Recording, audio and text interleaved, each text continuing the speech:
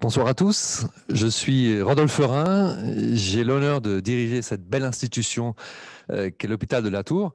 J'ai aussi le plaisir de vous souhaiter la bienvenue à, ce webinaire. Alors, euh, cette année, la crise nous a challengés euh, sur plusieurs fronts, d'autres un peu moins agréables que d'autres, mais il faut dire que elle nous a forcé aussi finalement à nous réinventer sur plusieurs aspects, entre autres la manière dont nous communiquons euh, vers l'extérieur avec euh, nos patients ou les personnes qui s'intéressent à la tour.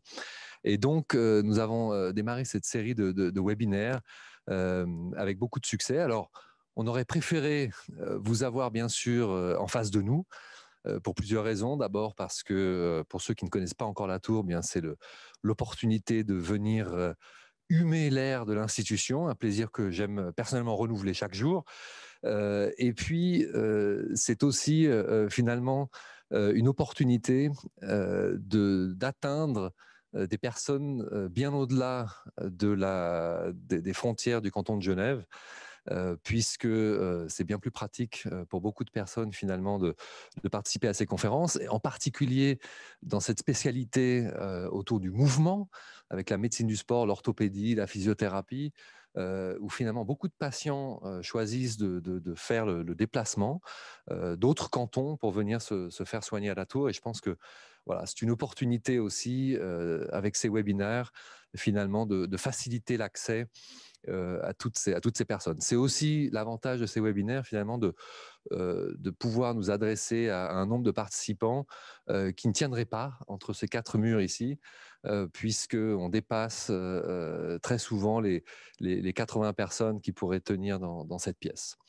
Donc voilà, donc une chose que j'aime bien répéter au sujet de la tour, c'est que on a une équipe évidemment fantastique d'experts, en particulier, donc, comme vous le savez certainement, en orthopédie aussi, où nos, chirurgiens sont spécialisés par articulation.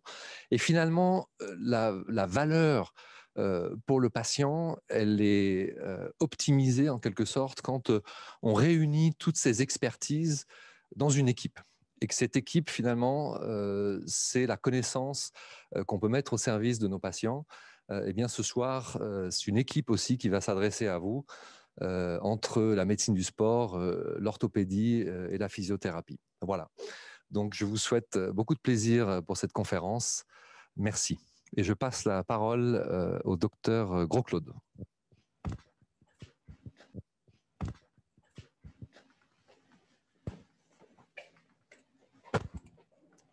Bonsoir à tous. Euh, j'ai le plaisir d'ouvrir cette, cette, soirée de présentation sur le ligament croisé antérieur. La soirée va se passer de la sorte. Vous allez avoir trois présentations. Je vais être le premier orateur. Je vais vous parler d'anatomie du genou, euh, des mécanismes de rupture du ligament croisé antérieur et puis des différentes options de traitement possibles. Ensuite, euh, le docteur Julien Billière, qui est chirurgien orthopédiste, vous parlera des prises en charge chirurgicales euh, du ligament croisé antérieur. Et puis, pour terminer, nous aurons Nicolas Le, Corollaire, qui est physiothérapeute du sport spécialisé dans le genou, qui est responsable du team genou ici à la Tour, et qui vous parlera du traitement fonctionnel des ruptures du ligament et puis des rééducations après l'opération. L'idée, c'est que vous repartiez avec des informations euh, les plus complètes possibles et c'est une, des manières de faire. Je me suis dit que c'était de prendre un peu le parcours du patient. Donc, le pauvre skieur qui chute, qui malheureusement se tord le genou et qui est victime d'une rupture du ligament croisé antérieur. Dès le moment où il vient aux urgences à l'hôpital de la Tour, il y a une prise en charge qui, se met en place, avec d'abord la mise en place éventuellement d'une attelle si c'est nécessaire, un avis euh, médical ou chirurgical, et puis ensuite une rééducation qui se met derrière. Et ce soir, on va parcourir un petit peu versant. Juste euh, entre parenthèses, j'aimerais présenter notre équipe de médecine du sport à la Tour. Euh, elle se compose de huit médecins du sport qui sont tous formés déjà spécialisés et depuis le 1er novembre de deux fellows qui sont des médecins qui sont déjà spécialisés mais qui se surspécialisent encore en médecine du sport. On les a accueillis là le 1er novembre, ils viennent de commencer avec nous. Euh, notre service de physiothérapie qui regroupe un peu plus de 50 physiothérapeutes. On a trois préparateurs physiques, une nutritionniste du sport et deux psychologues du sport. Nicolas vous parlera tout à l'heure aussi de l'importance du côté psy après euh, une, rupture du ligament croisé antérieur. Alors, si on vient maintenant euh, dans le vif du sujet, on va parler d'anatomie du genou. Donc un genou, c'est quoi? C'est trois os, c'est un fémur, une rotule et un tibia. Et ces trois os sont reliés par différentes structures qui les maintiennent en place. Il y a des structures primaires qui sont des ligaments. Donc des ligaments, ce sont des structures qui permettent de relier un os à un os. Donc ça, c'est des structures primaires. Il y a quatre ligaments dans le genou, on les verra en détail tout à l'heure.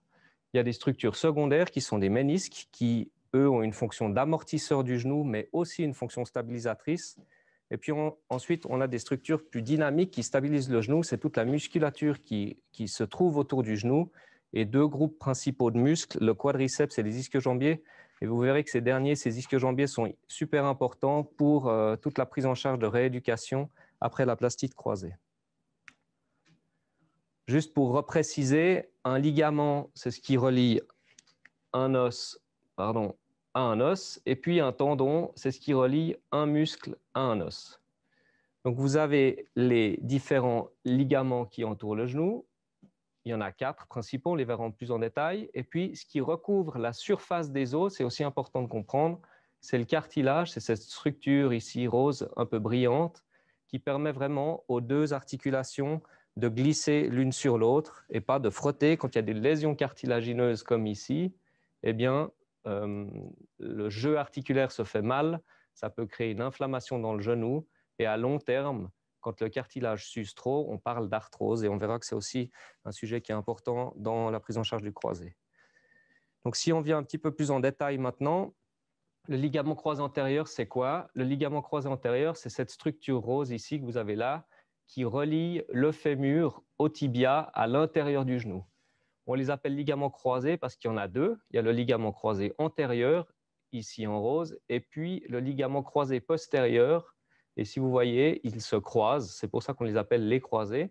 Mais quand on dit je me suis fait les croisés, c'est faux. On se déchire en général, dans 95% des cas, le ligament croisé antérieur qui est ici. Ensuite, il y a deux haubans externes, un ligament collatéral latéral, ici, et puis de l'autre côté, sur la partie interne, un ligament collatéral médial. Et puis, deux autres structures qui sont importantes pour la stabilisation du genou et la fonction amortissante, c'est les ménisques. Vous avez ici le ménisque externe, il y a deux ménisques par genou, le ménisque externe et le ménisque interne. Là, on voit cette fois une coupe du genou. Donc, vous avez ici en haut le fémur, ici le tibia, et vous voyez ce fameux ligament croisé antérieur qui prend son origine sur le fémur ici, et puis qui vient ensuite s'insérer sur le tibia ici devant.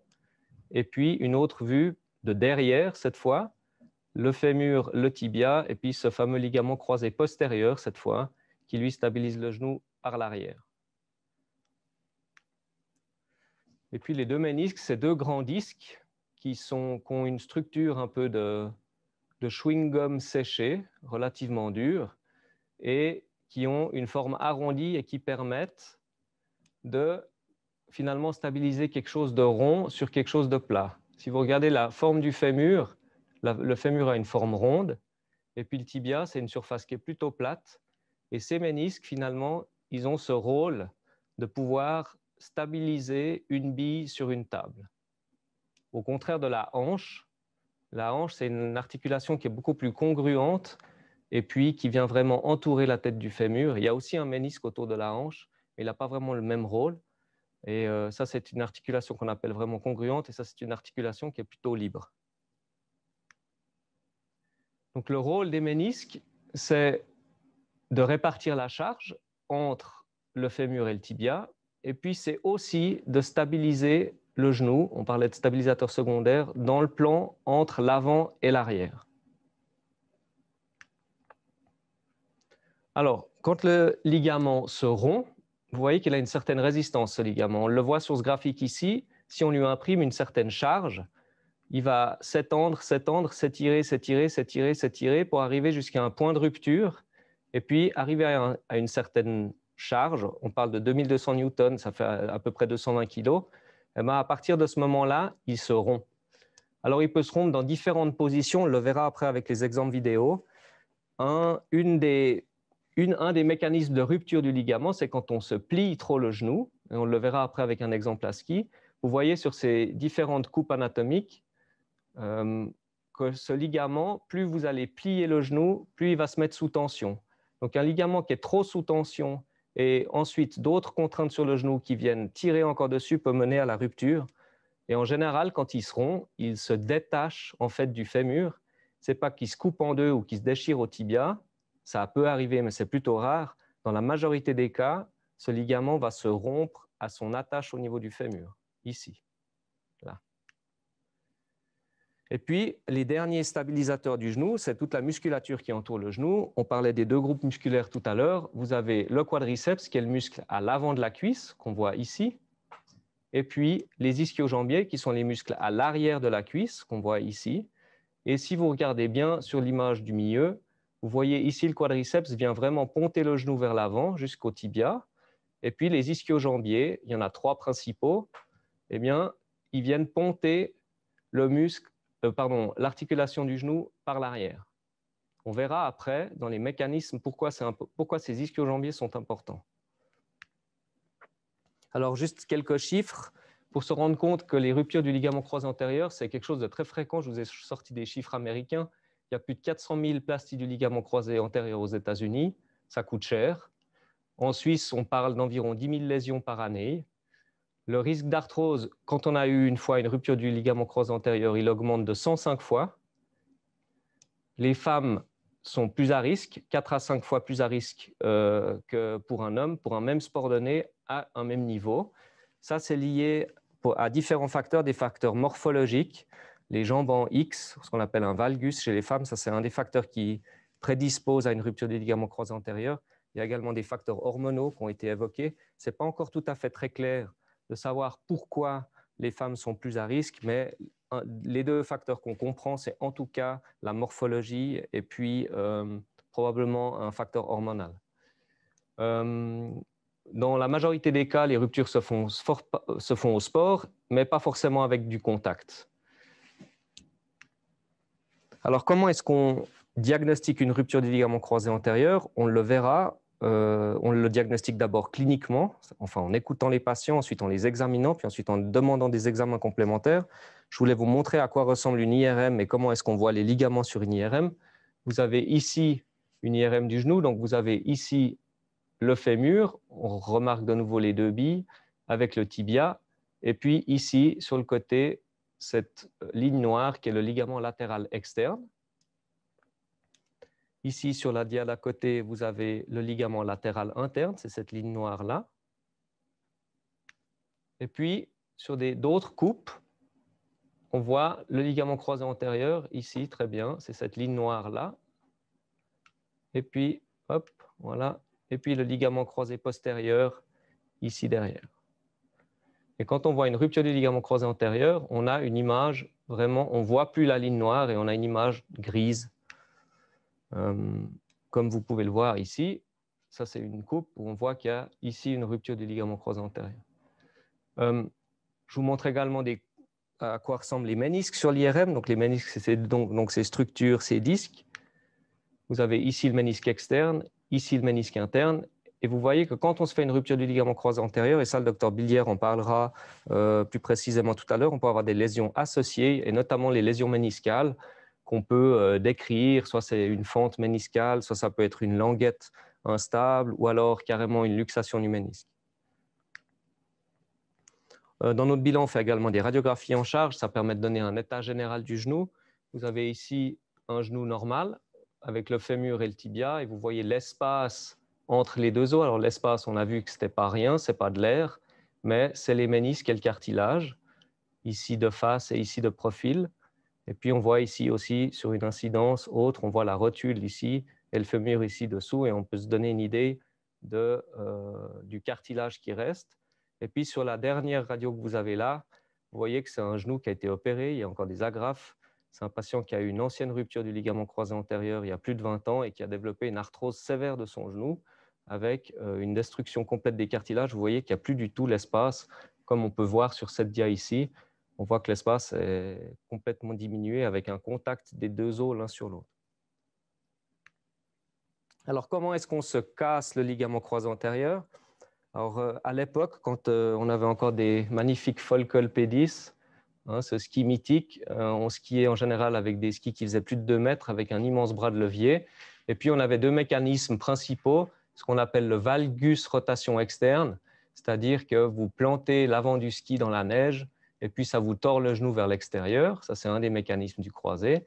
Et puis, euh, ou ce qu'on appelle le varus rotation interne, où euh, cette fois, c'est la chaussure qui plantait dans la neige, et puis vous vous tordez le genou qui part vers l'extérieur. Ça, c'était les mécanismes à l'époque. Et puis maintenant, avec l'évolution du matériel et la vitesse du ski, on a d'autres mécanismes de croisée qui sont un petit peu plus, euh, qui se sont un peu plus précisés aussi dans le domaine médical. En gros, on a trois, euh, trois grands groupes de chutes qui euh, mènent à des ruptures de croisée. Et ça, je vais vous l'illustrer avec trois vidéos. Donc la première, ça va être ce skieur-là qui est déséquilibré vers l'arrière.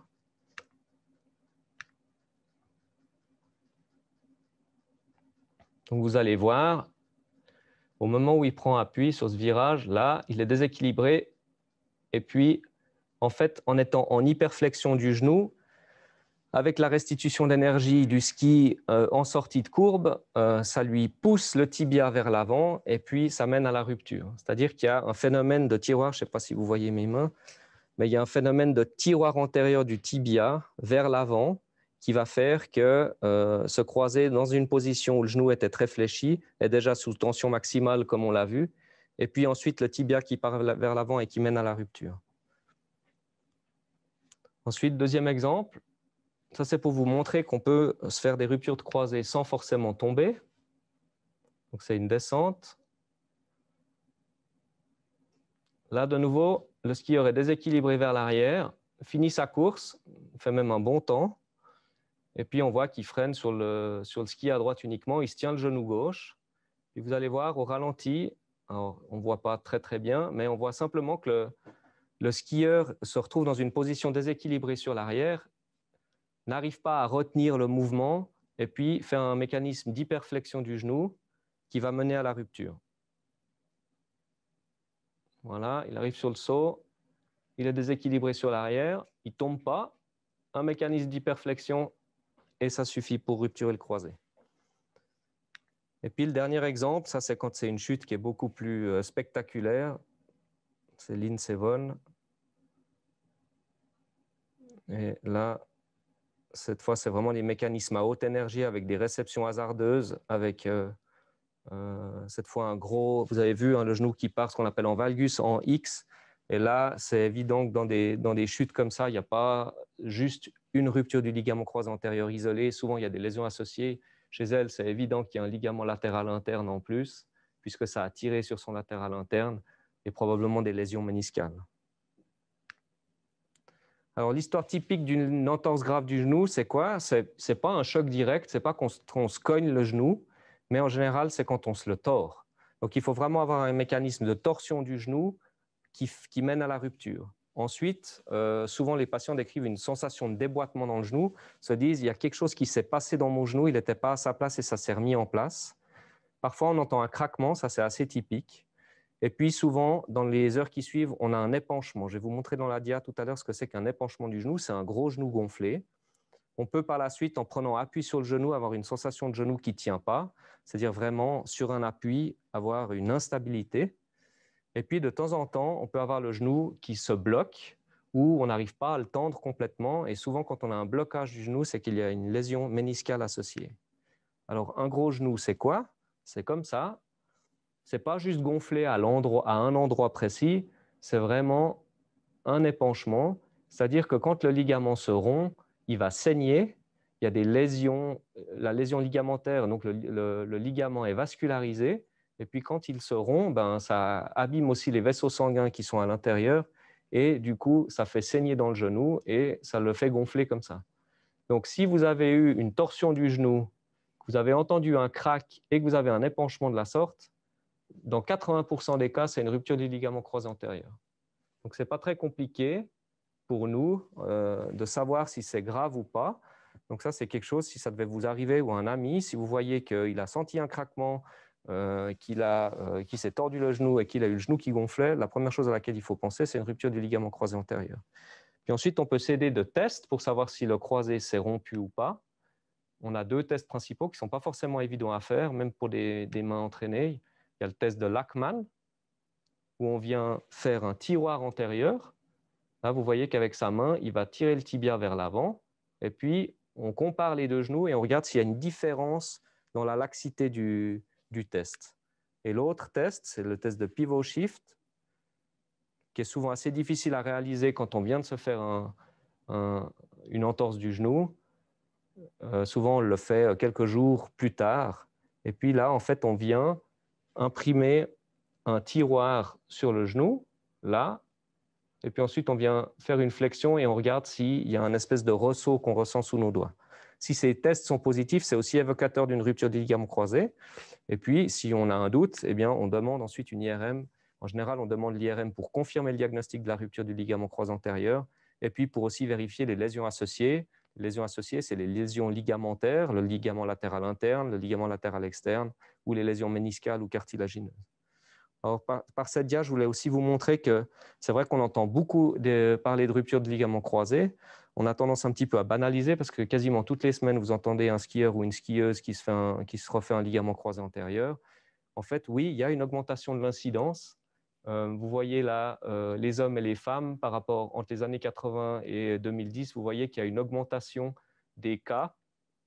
Ça, c'est expliqué par deux facteurs un, la vitesse sur les pistes et le développement du matériel, et puis euh, aussi notre manière de faire du sport, c'est-à-dire qu'on dans notre activité professionnelle, on, on, en général de plus en plus sédentaire, et puis les week-ends, on a tout à coup envie de se, se, défouler et de, dévaler les pistes, et puis on n'est pas forcément prêt.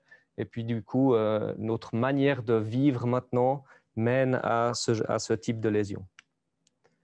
Donc on parle d'une lésion grave. On a tendance à la banaliser parce qu'on l'entend beaucoup, mais c'est une lésion qui est grave et qui peut laisser des séquelles à long terme, comme on l'a vu avant, avec des développements d'arthrose. Vous voyez que le risque d'une nouvelle chirurgie après une rupture de croisée, c'est jusqu'à 21% pour les lésions méniscales. Le risque de re-rupture à 10 ans, c'est entre 23 et 27%. 30%, oups là, pardon, excusez-moi, je suis allé trop vite. 30% chez les moins de 20 ans. Et puis, euh, les causes de rupture, alors ça peut être le sport, évidemment, des fois c'est des, questions chirurgicales, ça peut être le type de greffe, l'âge et le sexe, le timing du retour au sport, ça je pense c'est un point qui est super important. Euh, nous, nos patients, on essaie de les freiner au maximum de retourner trop vite au sport. On, a, on entend des fois dans la presse que tel et tel athlète est retourné sur les skis six mois après, a fait une médaille. finalement, si on suit un peu cet athlète, il y a des, euh, il y a des cas assez classiques où euh, six mois plus tard, finalement, elle se rupture de nouveau un ligament croisé parce que probablement on a été trop vite dans le retour au sport.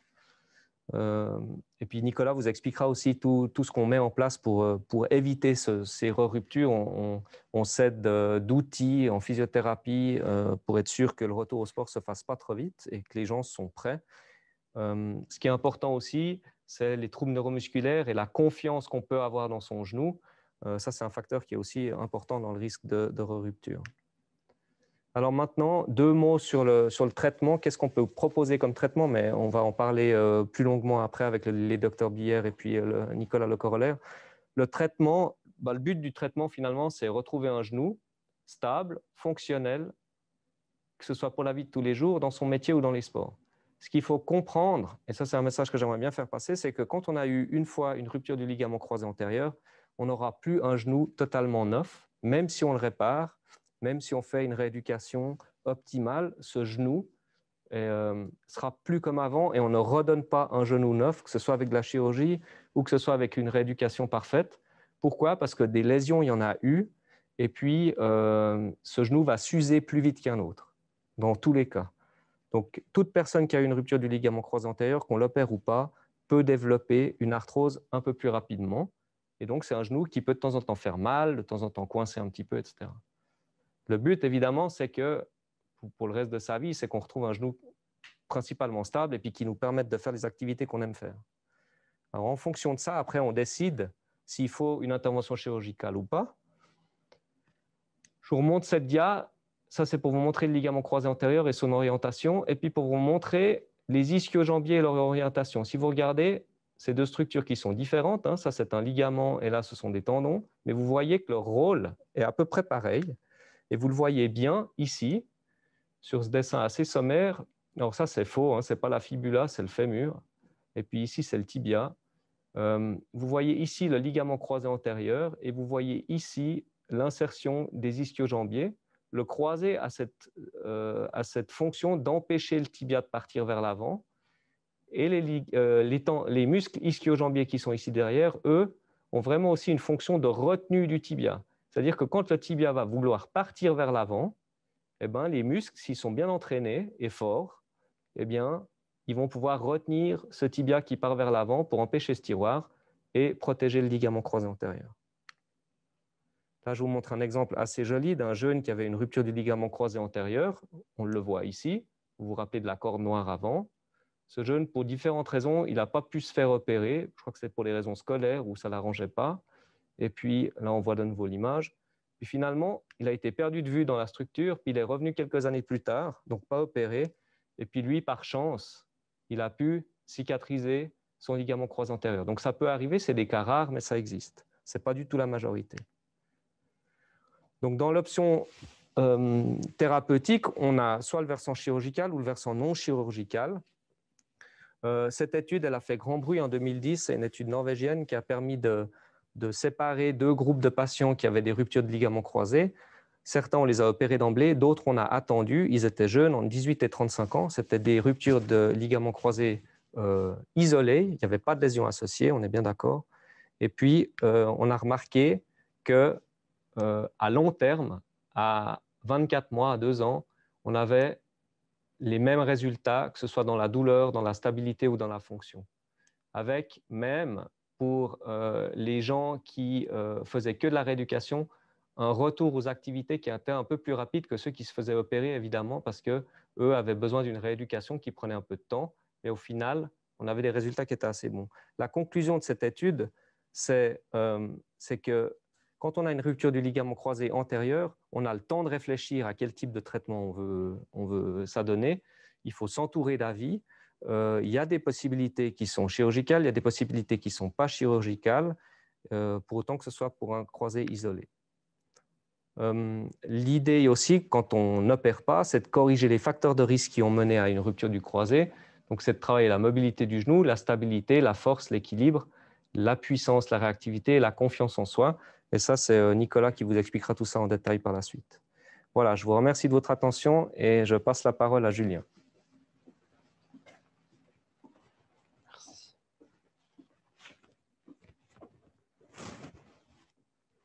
Alors, bonsoir à tous. Euh, moi, donc, je suis un, des euh, trois chirurgiens du genou de la tour. Et puis, donc, le docteur Goulot vous a bien expliqué euh, comment, à quoi servait le ligament croisé antérieur et comment on pouvait se déchirer et que ça menait à un jeu dans le genou. Le tibia qui part vers l'avant, donc une laxité antérieure, et un genou qui tourne aussi vers l'intérieur avec ce pivot shift là ou ce ressaut. Et c'est ça que le patient va ressentir comme une gêne lorsqu'il change de direction et il sent que son genou se déboîte. Donc, c'est euh, une des indications, par exemple, pour arriver vers la plastie du LCA, ligament croisé antérieur, ou une reconstruction du ligament croisé antérieur. Malheureusement, comme il a évoqué aussi, elle est rarement isolée. Euh, il y a souvent des lésions qui sont associées à cette rupture du ligament croisé antérieur au niveau des ligaments, au niveau des ménisques, au niveau du cartilage. le plus fréquemment, euh, une lésion au niveau du ligament antérolatéral. Qu'est-ce que c'est? C'est un renfort au niveau de la capsule sur le côté du genou qui euh, aide à contrôler la rotation au niveau du tibia par rapport au, fémur, qui agit dans le, ressaut qu'on a vu euh, auparavant. Ça a fait un peu le buzz en 2013, la presse a annoncé qu'il y avait un nouveau ligament qui avait été découvert. En fait, les chirurgiens belges qui ont décrit ça est un peu plus modeste. En fait, c'était une lésion qui avait déjà été décrite en fin du 19e siècle par le docteur Second et euh, qui avait décrit un arrachement osseux euh, au niveau du tibia, là où s'attache ce ligament antérolatéral. Autre lésion, la lésion, des ménisques dans plus de 30% des cas. Ça peut survenir euh, lors de l'accident, mais aussi dans un deuxième temps, au fur et à mesure, les genoux lâche, il se dérobe, des lésions méniscales peuvent euh, arriver. Parfois, elles sont évidentes pour le, chirurgien, euh, faciles à retrouver, que ce soit lors de l'arthroscopie ou euh, à l'IRM. Parfois, c'est plus subtil. Dans le sens, on a des lésions de la rampe ou du ligament méniscotibia, c'est-à-dire c'est au niveau de l'attache postérieure du ménisque interne. Et lors de cette lésion, le ménisque ne remplit plus sa fonction de cale ou de frein secondaire, de stabilisateur secondaire, et le tibia part encore plus en avant. Si on ne va pas la chercher spécifiquement, cette lésion, si on ne va pas se glisser à un endroit précis dans le genou, on peut la rater dans plus de 40% des cas. Autre lésion fréquente, lésion du ligament collatéral interne ou de la capsule postéromédiale, comme l'a dit le docteur Gros-Claude. La lésion, peut être à plusieurs endroits et de plusieurs types, c'est-à-dire ça peut être simplement un étirement jusqu'à une rupture euh, complète. Une vidéo qui résume un des mécanismes courants de euh, comment se faire une rupture du ligament croisé antérieur. Donc ça, c'est le ligament antérolatéral, le ligament croisé antérieur. On voit que le tibia il va partir en avant avec une rupture du ligament croisé antérieur, éventuellement du ménisque externe. Ensuite, il tourne vers l'intérieur avec une déchirure du ligament antérolatéral. Ensuite, il y a un réflexe au niveau musculaire qui va venir ramener le tibia en arrière. C'est le muscle somiomembraneux qui se contracte d'un coup et éventuellement faire une lésion du ménisque interne ou la capsule postéromédiale. Là, vu de dessus, on voit le tibia par en avant et tourne vers l'intérieur et après il revient en arrière. Une autre façon euh, d'illustrer ça, là vous avez un genou vu de dessus, donc c'est le tibia vu de dessus. En haut, vous avez la rotule, donc c'est la partie antérieure. Ici, la partie externe du genou, ici, la partie postérieure. Pour avoir une rupture donc, du ligament croisé antérieur qui va amener à une laxité antérieure, c'est-à-dire le tibia qui part vers l'avant. Ensuite, éventuellement, une lésion du ligament antérolatéral qui va euh, provoquer un jeu en rotation interne. En plus de ça, vous pouvez encore avoir une lésion de la partie postéromédiale avec soit, la capsule, soit le ménisque interne avec encore plus de jeu au niveau rotation ou le tibia qui part encore plus vers l'avant. Les autres lésions, on peut avoir des lésions au niveau du cartilage, aussi des autres ligaments, euh, ligaments croisés postérieurs ou tous les autres ligaments majeurs, mais là on change de chapitre, on est plutôt dans la luxation du genou. Qui opérer Alors il faut comprendre qu'il n'y a pas une rupture du LCA, comme on a dit, il n'y en a pas une, il y en a plusieurs peut avoir des lésions qui sont partielles, qui sont complètes, avec des lésions associées ou pas. En fonction de ça, vous aurez une laxité qui est plus ou moins grande. Donc un jeu qui est plus ou moins grand entre le tibia et le fémur. Donc ça va être légère, modéré ou sévère. Lors de l'examen physique avec le spécialiste, on va pouvoir évaluer cette laxité, c'est la plus ou moins importante. On a, aussi des appareils qui peuvent retranscrire ça en millimètres. Euh, pour évaluer ça de manière plus objective et donner un pronostic euh, quant à ce genou. Et en fonction de votre niveau d'activité, votre travail, vos activités sportives, vous allez développer ou non une instabilité. C'est-à-dire, ça peut aller de pas de symptômes à une peur ou un manque de confiance jusqu'à des lâchages ou un dérobement du genou à chaque fois que vous changez de direction. Et c'est plutôt les patients qui sont, les lésions, les patients qui sont sur la droite de l'écran qui vont euh, bénéficier d'une chirurgie. Donc, les indications à opérer, normalement, c'est les gens qui sont de genou instable, les patients qui sont actifs, qui font du ski, du foot, tous les sports avec changement de direction, mais pas seulement, ça peut être un maçon ou un charpentier qui a besoin d'un genou stable lorsqu'il est sur euh, le toit. Autre indication, quand le ligament croisé antérieur est rompu et associé à des lésions des ménisques. Pourquoi? On voit que lors de la, blessure, il y a beaucoup de lésions méniscales qui ont une partie a tendance à guérir spontanément, puis on arrive à un plateau.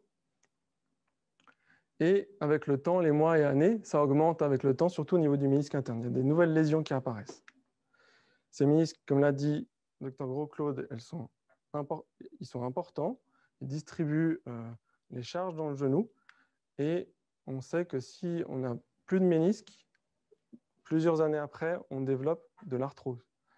Et le cas le pire, c'est de ne plus avoir de ligament croisé antérieur, un ménisque interne qui n'est plus là, et là, vous avez 100% d'arthrose 20, 20 à 30 ans après. Quand opérer, pas trop tôt. D'abord, il faut récupérer un genou euh, qui est peu gonflé, récupérer la mobilité du genou, qui soit peu douloureux. douloureux. Pour ça, il faut, il faut du repos, surélever la, la, jambe, mettre de la glace, faire de la physiothérapie, des exercices à la maison. Et il y a une chose importante à, à rechercher, c'est un peu plus complexe, c'est une inhibition motrice, c'est-à-dire qu'après un accident au niveau du genou, il y a une blessure et il y a un réflexe euh, nerveux qui passe par la moelle épinière et les nerfs, où le quadriceps est totalement endormi, devient non fonctionnel. C'est illustré sur ces vidéos. À droite, vous voyez le muscle quadriceps au niveau de la cuisse. La patiente arrive à faire une bonne contraction, ici, alors qu'à gauche, là où le genou est lésé, elle est incapable de faire une contraction efficace. Elle va même essayer de tricher pour étendre la jambe en relevant le pied ou parfois des fois en, essayant avec la fesse, les muscles de la fesse. Impossible. Ça, c'est quelque chose à corriger absolument avant la chirurgie euh, avec une physiothérapie, spéciale. Pas trop tôt, mais pas trop tard non plus, parce qu'en cas de laxité, on voit que euh, déjà après une année, on a des lésions du cartilage qui apparaissent et des lésions au niveau des ménisques. Mais déjà après six mois, pardon, trop vite, euh, on observe que par rapport, si on les avait opérés plus tôt, on a plus de jeu au niveau du genou et les chances de pouvoir euh, réparer les ménisques, d'avoir un ménisque qui est réparable, diminuent. Comment on fait la chirurgie? Vous arrivez le jour même, une chirurgie qui n'est pas très longue, 30-40 minutes pour faire le ligament croisé antérieur, quelques minutes de plus pour réparer les ménisques s'il y a des lésions. Ça peut se faire sous anesthésie générale, c'est-à-dire endormi complètement, ou anesthésie, c'est la piqûre dans le dos, il n'y a que les jambes qui dorment. On fait ça avec la caméra, l'arthroscopie. Donc on a du matériel spécial pour ça. Cette caméra nous permet d'explorer tout le genou dans son intégralité. Ici, une vue de l'intérieur du genou. À gauche, vous avez le ligament croisé antérieur. Celui-là, il est normal. Et à droite, vous voyez que vous avez une rupture du euh, ligament croisé antérieur. Les principes de la chirurgie, c'est de recréer un ligament croisé antérieur. Généralement, on ne peut pas le réparer parce qu'il a à moitié disparu avec le temps ou euh, les c'est quelque chose de plus compliqué et avec des indications très limites. Généralement, on le reconstruit. On refait un nouveau ligament croisé antérieur à l'aide d'une greffe. Le ligament croisé antérieur, il est ici. On va faire un tunnel dans le tibia, c'est-à-dire un trou dans le tibia, puis dans le fémur, et on va faire passer une greffe qui va reconstruire le ligament croisé antérieur. Tout ça avec des petites cicatrices. Je parler de greffe, c'est-à-dire qu'on doit prendre un tendon autour du, genou. On a, des endroits où on peut se servir, plusieurs greffes. On a une partie du tendon rotulien, une partie du tendon quadricipital ou une partie des ischios jambiers. On ne les prend pas tous. Le docteur Grovelot a dit qu'ils étaient importants dans la stabilité genou. On prend seulement une partie, tout comme le tendon quadriceps, est important pour la stabilité du genou et on prend seulement une partie du tendon. On euh, n'enlève pas la fonction des muscles. C'est ce que jambier. Donc, l'autre possibilité, c'est les allogreffes. C'est des tendons qui viennent de quelqu'un d'autre, d'un donneur qui n'est plus vivant. Malheureusement, pour les rendre stériles, généralement, on les irradie et ça altère leurs propriétés mécaniques. Elles sont moins résistantes et du coup, pour la reconstruction des ligaments croisés antérieurs, ce n'est pas recommandé. Est-ce qu'il y a une greffe qui est meilleure que les autres? La littérature n'a pas montré de vraiment différence que ce soit le tendon rotulien, le tendon quadricipital ou les ischios jambiers, elles sont toutes aussi résistantes, euh, rigides, euh, etc. Au niveau euh, des résultats, ils sont similaires, on a retrouvé une bonne fonction du genou, et le taux de rupture, il est également similaire. Personnellement, je vais utiliser les ischio-jambiers. Pourquoi? Parce qu'ils sont assez longs pour à la fois reconstruire faire une plastie du ligament croisé antérieur, mais aussi du ligament antérolatéral. C'est ce renfort sur le côté qui va mieux maîtriser la rotation du genou. Donc, je ressors avec, un des tendons sur le côté et je passe sous la peau avec des petites cicatrices pour reconstruire ce euh, ligament antérolatéral.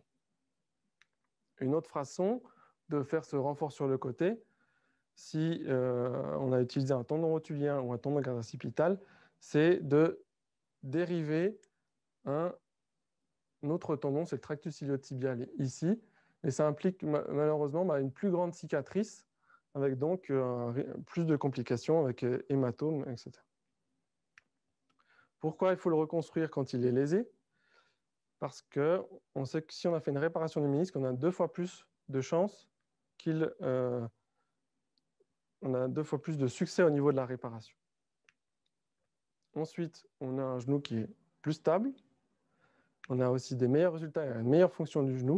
Et surtout, un taux de rupture qui est divisé par 2 à 3. Quand le docteur Grolko évoquait des taux qui, à plusieurs années qui vont jusqu'à 20%, si on arrive à, diminuer ce taux par 2, 3, on améliore vraiment euh, les résultats de la chirurgie. Dans le même temps de l'opération, on va explorer le genou, on va aller vérifier les ménisques et on les répare si nécessaire. On a différents types de sutures, d'implants, etc. Ce qui est important, c'est de les réparer. Pourquoi? Parce que si on les répare, on a des genoux qui sont plus stables et à nouveau des meilleurs résultats avec une meilleure fonction. Cette fonction, elle persiste, elle est toujours bonne dix ans après, mieux, mieux quand on préserve les ménisques et on a aussi moins de lésions au niveau du cartilage les autres lésions associées, c'est le ligament du, la partie interne du genou, ligament collatéral interne ou la capsule postéromédiale.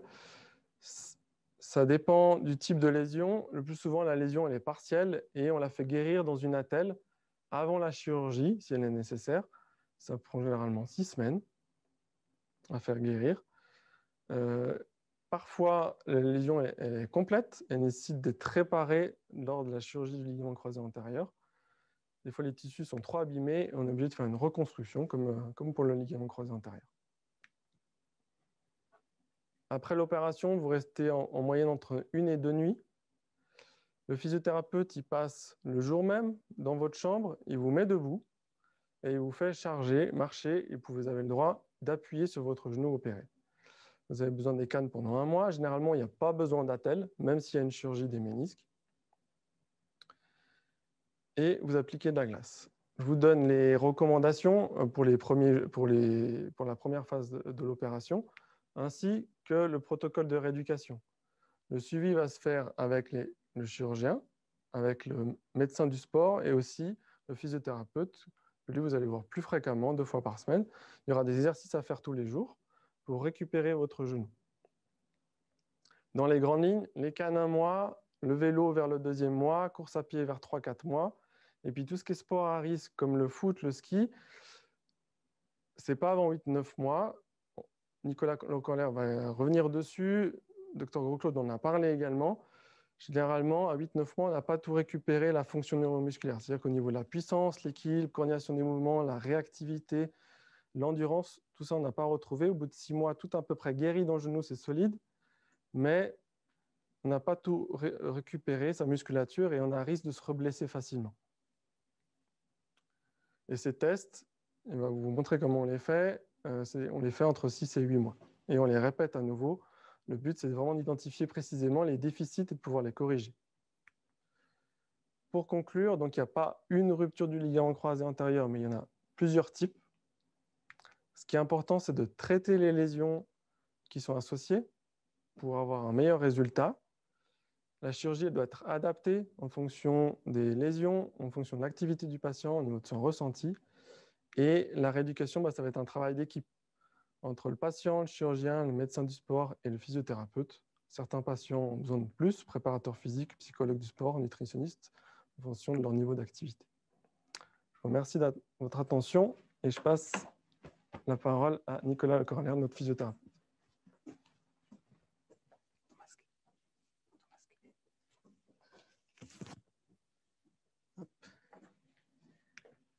Bonsoir à tous. Donc, je suis Nicolas Le Corollaire. Euh, je suis ravi d'être avec vous ce soir. Euh, je suis un des, de la cinquantaine de physiothérapeutes de l'hôpital de la Tour, dont vous pouvez voir euh, une partie ici autour de François Fourchet, notre responsable. Quand François a pris ses fonctions il y a un petit peu plus d'un an, il a proposé qu'on monte des pôles de compétences. Voici les différents pôles qui ont été créés. Et euh, tous ces pôles ont une même ligne directrice, c'était de mettre en relation notre expérience clinique avec euh, la science. Euh, les docteurs qui m'ont précédé vous ont montré qu'on a vraiment des bases avec de la littérature scientifique pour tout ce qu'on met en place, et en physiothérapie également. Tout ça, ça nous permet de mieux utiliser les outils que la Tour a mis à notre disposition, améliorer nos méthodes d'évaluation et du coup mettre des protocoles qui sont, euh, on espère, toujours à jour. Tout ça pour faire évoluer, améliorer nos prises en charge. Un petit exemple d'évolution, ben, c'est euh, cette année un petit peu spéciale avec la distanciation imposée par le Covid. On a commencé à mettre en place de la téléconsultation pour continuer le suivi de nos patients qui devaient rester chez eux euh, du fait de la situation sanitaire. Il y a quelques semaines, on a remis à Julien Heider, le directeur des opérations de l'hôpital de la Tour, euh, ce qu'on avait mis en place depuis un petit peu plus d'un an. Pas pour lui dire qu'on avait tout fini, au contraire, euh, pour lui dire qu'il y a des choses qui sont en place et qu'on va continuer à avancer dans ce sens-là. Alors, le docteur Billiard vient de super bien l'expliquer. Euh, on a un protocole, on a différentes phases que je vais vous développer tout à l'heure. Euh, c'est surtout un travail d'équipe. C'est-à-dire que le physiothérapeute, il n'est pas tout seul. Évidemment, là, ce soir, on vous en fait l'illustration. Il y a le chirurgien et le médecin du sport euh, qui l'accompagnent. Et il y a d'autres intervenants euh, auxquels on peut faire appel, qui ont chacun un petit peu leur pierre à mettre à l'édifice, que sont les préparateurs physiques et puis les psychologues du sport. Un travail d'équipe, ça nécessite également un discours d'équipe, donc, le discours, il se base sur des faits objectifs, donc une bonne évaluation, une individualisation de la prise en charge, malgré un protocole qu'on donne à tout le monde. On individualise tout ça pour accompagner le patient. On l'éduque aussi, ça veut dire qu'on va l'amener à bien comprendre la réalité, à bien comprendre les euh, intérêts de, euh, du travail qu'on va lui mettre en place. évidemment, il faut une bonne communication entre les différents intervenants entre le thérapeute et le patient, évidemment, mais aussi euh, avec les, euh, collègues euh, dans le staff médical. Alors moi, en termes d'éducation, j'aime bien les images et je, voulais vous en proposer une. le croisé antérieur, on a tendance à dire que c'est le dernier rempart contre l'instabilité. Et du coup, si on voulait faire une petite métaphore, on parlerait d'un gardien de but qui est là pour empêcher l'instabilité, empêcher l'échec. Alors, le ligament croisé antérieur, le docteur Gros-Claude vous l'a montré euh, auparavant, il n'est pas tout seul, il joue dans une équipe. Et puis, c'est l'équipe santé du, genou, c'est-à-dire que c'est l'équipe qui va garantir l'avenir du genou. On va le repositionner, on vous a montré qu'il est au milieu du genou. Et puis, il y a d'autres intervenants qui vont jouer avec. Donc, il faut de bonnes amplitudes qu'on maîtrise, mais il faut des choses un petit peu plus générales, comme des capacités cardiovasculaires. Puis les gros défenseurs, c'est quadriceps ischio-jambier qui viennent ponter le genou, comme euh, vous, l'a montré Maxime. Et ils ne sont pas tout seuls non plus. Il y a d'autres muscles qui viennent intervenir. Les abducteurs, que j'ai mis volontairement à côté du quadriceps, ils vont contrôler ce mouvement de valgus. Et puis le triceps, lui, euh, c'est le muscle du mollet. Il vient travailler au niveau du schéma euh, de la chaîne postérieure avec les ischio-jambiers. Ça, c'est la défense. C'est pour éviter l'échec. Ce qui va nous permettre d'atteindre le but, c'est l'entraînement, la répétition des tâches et cibler les tâches qu'on va vouloir viser, c'est-à-dire quels sont les objectifs du patient et répéter différentes tâches pour l'amener à ces objectifs-là. Il faut que le patient gagne en confiance. la confiance, a été montré, il y a beaucoup de littérature là-dessus. La confiance, c'est un vrai facteur de réussite pour le retour à l'activité. Évidemment, sans implication, on n'atteint jamais le but. L'implication, c'est valable pour tout le monde. C'est évidemment l'implication du patient qu'on attend, mais c'est aussi notre implication à nous qu'on met dans le traitement. Puis le capitaine, c'est le contrôle neuromusculaire. On peut avoir des très très bons défenseurs. S'il n'y a pas quelqu'un qui dirige tout le monde et qui fait jouer tout le monde ensemble, le résultat est moins bon. Et quand on a une bonne équipe, eh ben, on va se permettre de ne pas sélectionner la raideur, la douleur, l'épanchement, que sont les signes de l'inflammation. Alors, une équipe sans croisée, est-ce que c'est possible? Bah, On est sur l'image du foot. Moi, j'ai déjà vu des équipes qui euh, jouaient des matchs à 10 et puis qui allaient gagner les matchs. Après, tout dépend du contexte, comme vous l'a expliqué euh, le docteur Billière. Euh, ce n'est pas valable pour tout le monde, ça dépend des objectifs, ça dépend du niveau, ça dépend de beaucoup de choses, mais c'est à, envisager quand même. Alors, notre prise en charge, elle se base essentiellement sur euh, deux, grosses revues d'études solides, de, celle de Van Melik et celle de Andrade, un peu, tout petit peu plus récente. Euh, ce sont des euh, études qui ont été établies dans le contexte de la chirurgie, la prise en charge de la rupture opérée. Évidemment, il y a une petite phase hospitalière dont je vais, que je vais détailler par la suite.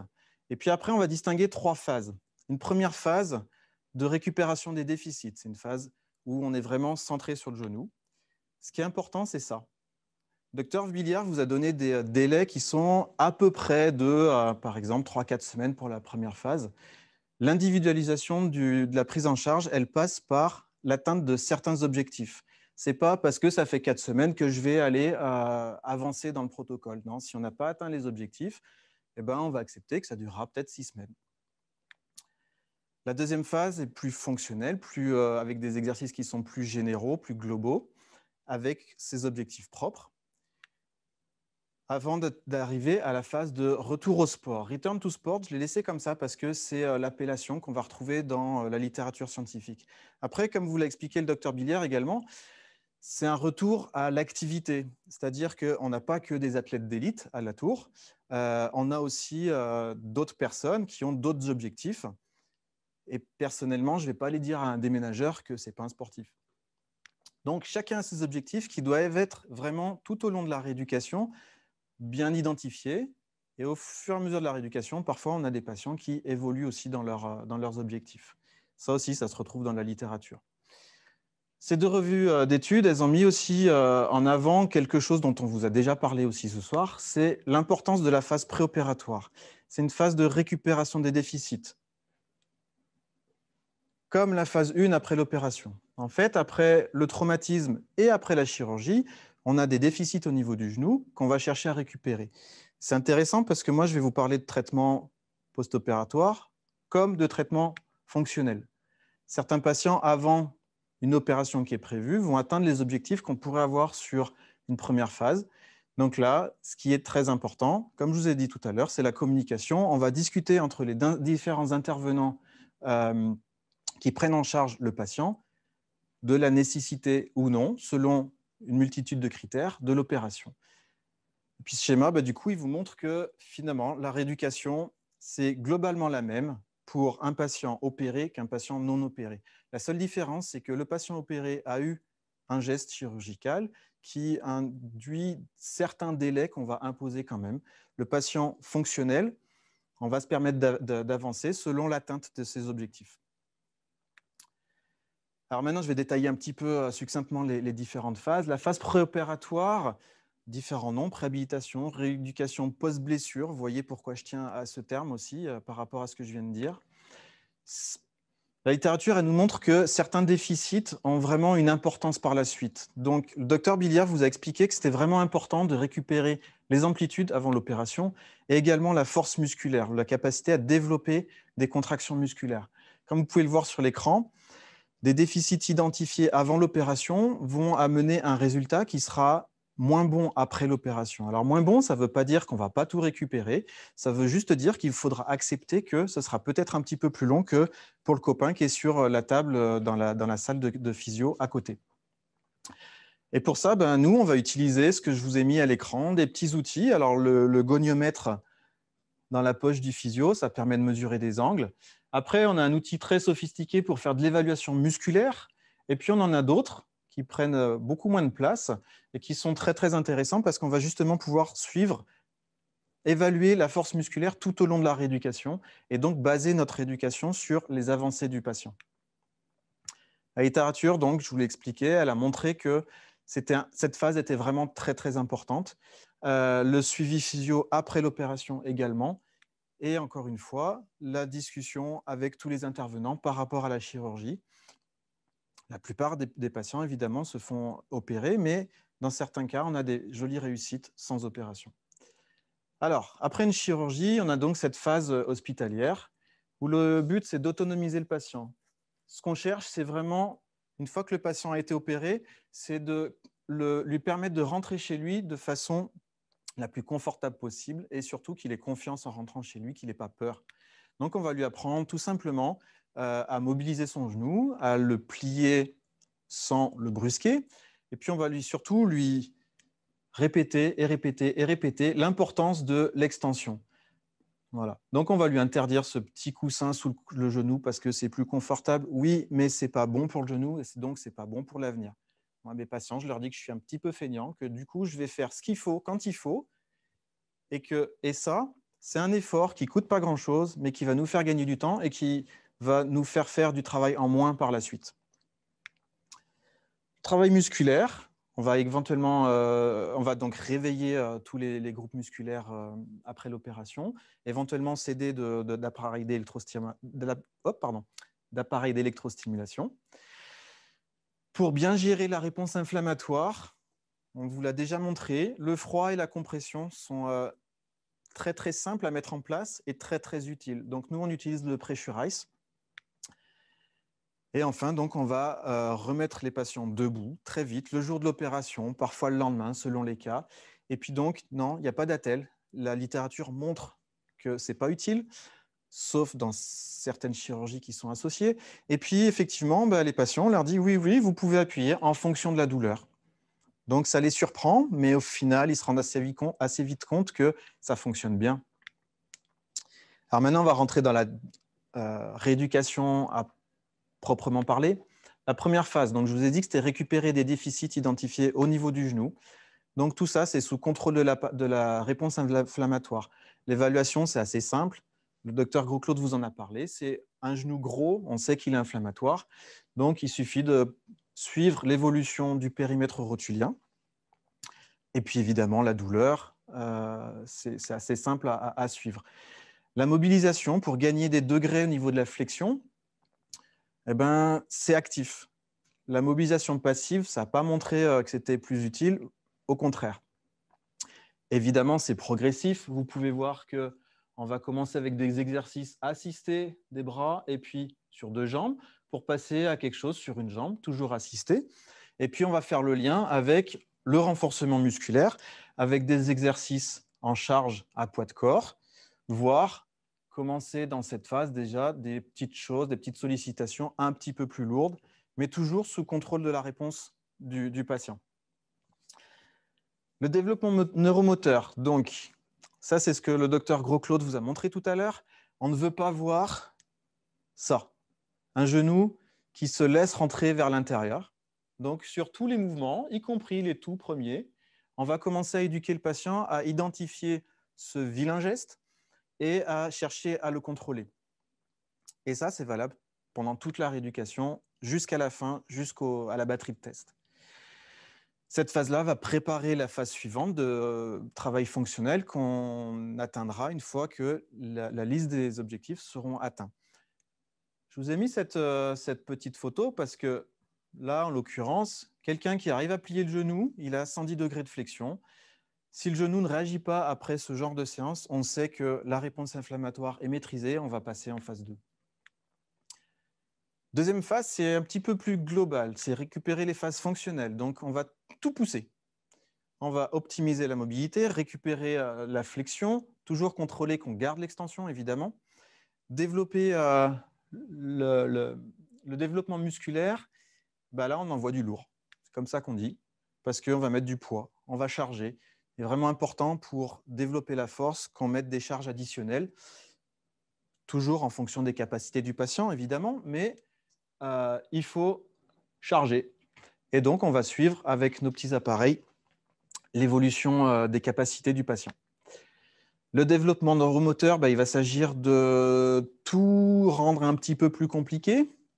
Les physios, ils n'ont pas de limite en termes de vis. Donc, on va utiliser des surfaces un petit peu différentes, des tâches multiples, euh, des perturbations externes. On a plein, plein d'idées dans ce sens-là. Et tout ça, ça doit amener le développement de la confiance. Dès le début de la, rééducation, l'idée, c'est de mettre le patient en confiance, de lui donner des objectifs qu'il va réussir à atteindre pour préparer son retour au sport, à l'activité. Donc, une fois que les objectifs sont atteints, on passe dans le retour au sport continuum. Ça veut dire qu'il y a différentes petites nuances dans le retour au sport. Euh, retour à la participation, c'est en gros, c'est le lien entre la rééducation et le sport complet. C'est cette euh, période où le patient va retourner à son activité avec certaines restrictions. Le retour au sport, c'est l'entraînement euh, complet et il n'y a rien de plus intense que la compétition. Donc parfois, selon les résultats du test dont je vais vous parler par la suite, on dira OK pour telle ou telle euh, période du retour au sport. Il va falloir développer les capacités à fond et surtout spécialiser. Là, ce coup-ci, ça va être important d'avoir euh, réussi à définir les objectifs particuliers, spécifiques du patient. Parce qu'on peut avoir quelqu'un qui veut euh, aller courir le dimanche matin ou faire de l'ultra-trail. On peut avoir quelqu'un qui a besoin de qualité explosive, quelqu'un qui va faire, euh, par exemple, du handball. Donc, ça veut dire qu'il va y avoir des appuis, il va y avoir des coéquipiers à gérer, des adversaires qui vont leur rentrer un petit peu dedans et en plus gérer un ballon. Puis la même chose avec le rugby où en plus il y a des contacts encore plus euh, intenses et ça se passe en plus sur un terrain en herbe, glissant euh, ou dur, avec parfois des trous. Donc des tâches qui doivent être compliquées dans la, dans la partie de la rééducation. Là, je vous ai mis deux petits exemples. Il s'agit d'une euh, jeune patiente euh, qui fait du snowboard. Ben, on, on s'est amusé à simuler des sauts d'un plan incliné à un autre. Et puis après, on a même, euh, je lui ai même demandé de faire des, des rotations. Et puis ce jeune patient qui est skieur, lui, on a la chance d'avoir une super pente à l'extérieur. des allers-retours comme ça, marche avant, marche arrière, c'est idéal pour fumer les cuisses. Et du coup, lui donner les mêmes sensations qu'il va retrouver dès qu'il va retrouver les pistes. Et tout ça, c'est pas fini. Faut valider. Faut valider la fin de sa rééducation. C'est quand même dommage d'avoir fait des mois de rééducation et de pas se poser la question est-ce que je suis bon? La littérature, elle nous montre justement que c'est important. On, on, vous déjà, on vous en a déjà parlé, mais j'ai des chiffres un petit peu différents. Ça dépend en fait des articles sur lesquels on s'appuie. Peu importe. On sait qu'on a des taux de rupture qui sont trop importants pour prendre ça à la légère. Et rupture, ça veut dire du même côté, mais c'est aussi de l'autre côté. On a des, articles qui nous montrent que après une, ligamentoplastie, il y a un risque pour l'autre genou aussi. Notre revue de Van montre que euh, effectuer, elle préconise une, une, batterie de tests avec de la force et des sauts, et puis une évaluation de la performance et de la qualité. Puis si ce n'est pas assez clair, on a cette étude de Kiritsis et collaborateurs qui montre que même si vous validez cette, cette, batterie, OK, si vous la validez, vous n'avez pas, une garantie non plus de ne pas vous reblesser. Par contre, si vous ne la validez pas, vous avez quatre fois plus de chances de vous reblesser. Donc c'est quand même, après des mois de rééducation, ça serait dommage de tout gâcher parce qu'on veut y retourner trop vite.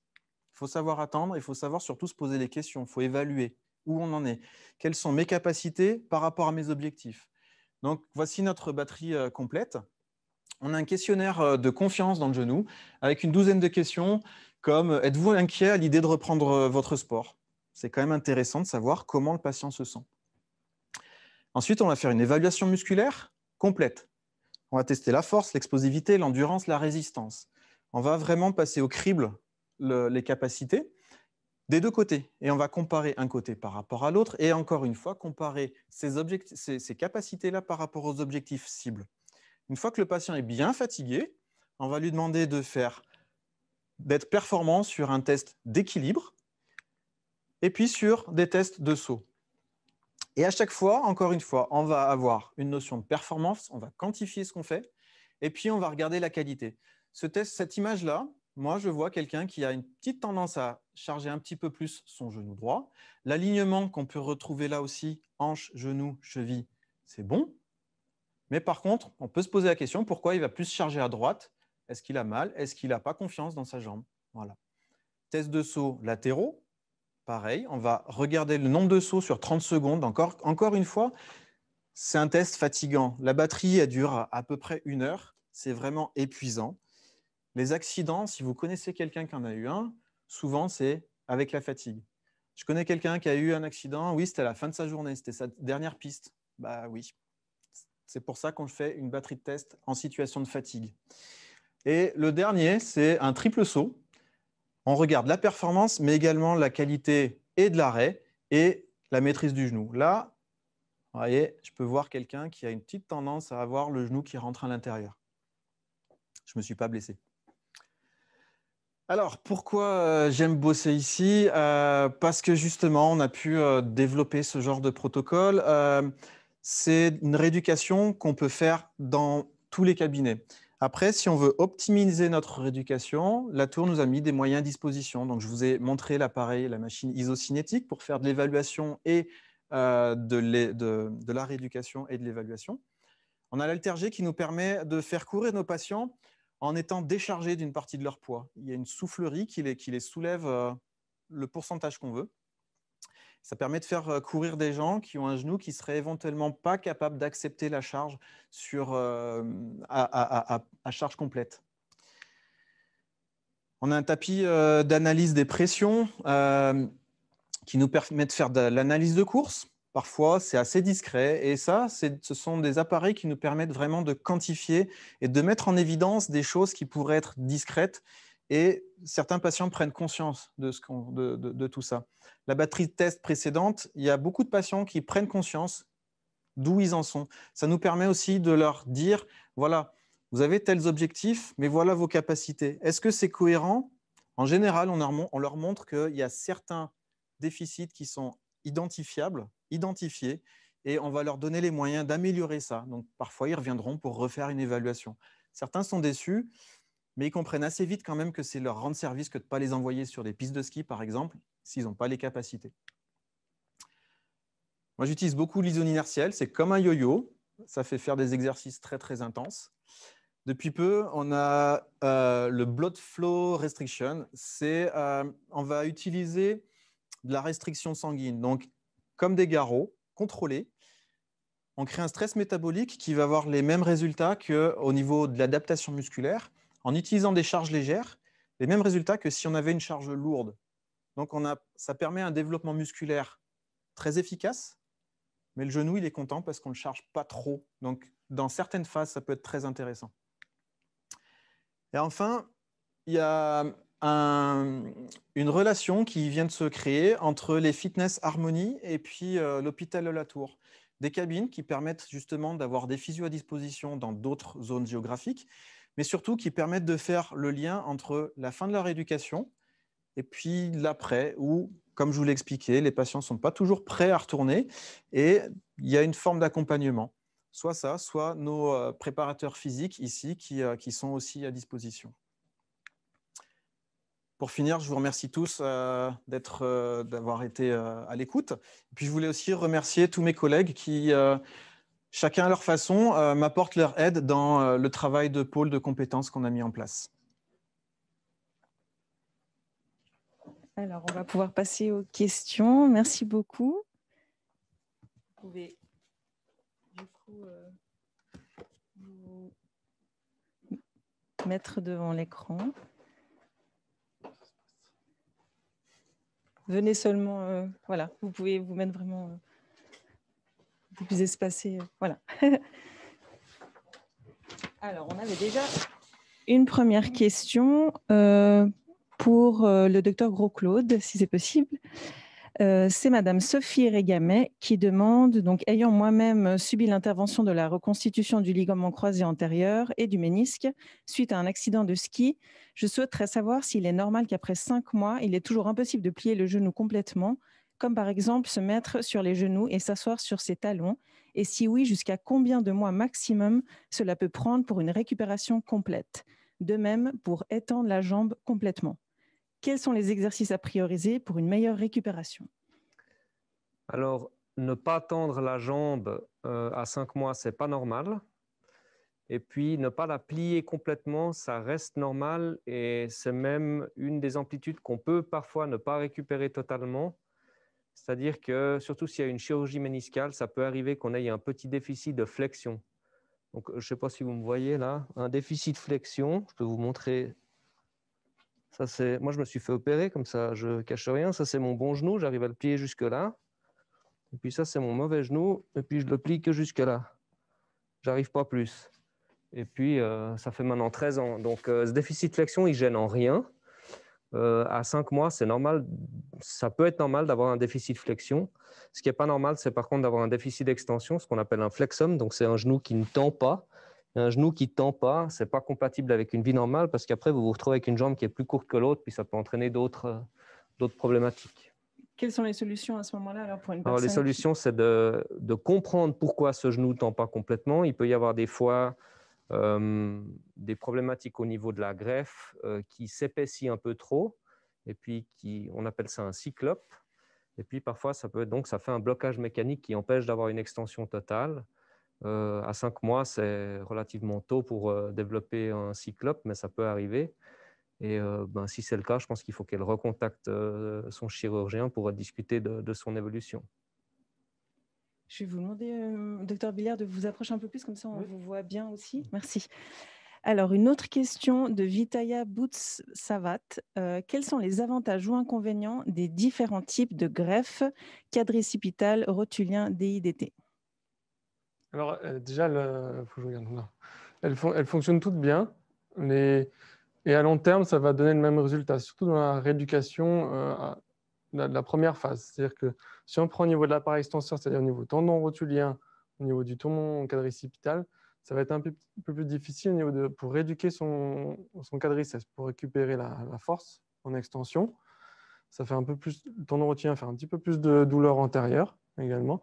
Et des gens, vu qu'il y a une cicatrice sur le devant du genou, se mettre à genoux, ça va être euh, difficile parce que ça appuie sur l'ancienne cicatrice.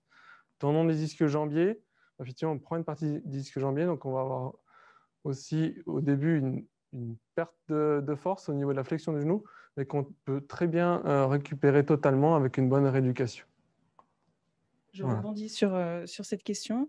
Est-ce qu'on peut s'attendre à une fragilité là où la greffe a été euh, prélevée? Alors, on prend, enfin, normalement, on prend une partie et après, on répare la zone qu'on a prise. Et euh, effectivement, c'est décrit qu'on peut avoir des ruptures des tendons où on a prélevé ou des fractures au niveau de la rotule, par exemple. Ça reste euh, assez rare si la chirurgie est bien faite. Euh, une autre question pour revenir sur le risque de re-rupture. Donc, il y avait différents chiffres. on parlait aussi sur 10 ans de 23-27% de, de, risque de re-rupture. Euh, quels sont vos conseils à, ce moment-là pour éviter euh, Il y a de la rééducation qu'on fait beaucoup après l'opération, mais quand on parle de 10 ans, 15 ans ou 13 ans, euh, comment est-ce qu'on fait pour s'assurer de ne pas, même si on est très actif, se reblesser? Je veux bien commencer. Déjà, les taux de rupture, il y a plusieurs taux différents parce que ce n'est pas forcément la même catégorie de population. Forcément, si vous faites un sport à risque, vous êtes plus à risque de re si vous restez derrière votre chaise, après une rupture de ligament croisé antérieur, il est très peu probable que vous allez vous recasser. Donc déjà, il faut voir qu'est-ce qu'on compare. Ensuite, euh, et là, on voit justement bah, chez les jeunes jusqu'à 30%, c'est des populations, à risque, justement. 30%, c'est assez élevé. Par rapport à la pratique quotidienne, ce n'est pas autant, mais il y a des séries qui, décrivent euh, ces taux-là. Euh, c'est taux aussi que jusqu'à 15, 15%, 15-20% chez les footballeurs professionnels. Mais autant le genou qui est opéré, autant l'autre genou. Ça veut dire que c'est tout simplement parce qu'il faut une activité à risque en fait.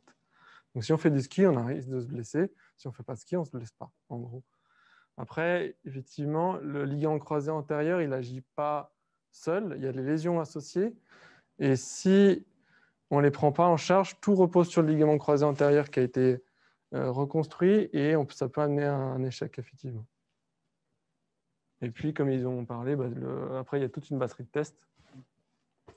Si vous vouliez ajouter autre chose. Euh, en fait, il n'y aura jamais de garantie pour ne euh, pas se rompre. Par contre, pour répondre à cette question-là, et puis pour aller aussi dans, dans, le même sens que le docteur Billière, la notion de sport, quand on est sédentaire toute l'année, qu'on va faire du ski l'hiver, là, ça part évident, là, tout de suite, vu tout ce qu'on a dit. Mais voilà, il faut, y penser. En fait, je vous ai montré qu'il y avait toute une équipe avec le, ligament croisé.